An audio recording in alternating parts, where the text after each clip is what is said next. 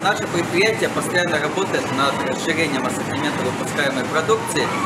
И в свою очередь, как и обещали, э, специально в Пасхе мы выпустили новую, новый вид продукции. Это яйцо, обогащенное йодом, йодированное. Э, В свою очередь, йод э, является важным микроэлементом в организме человека.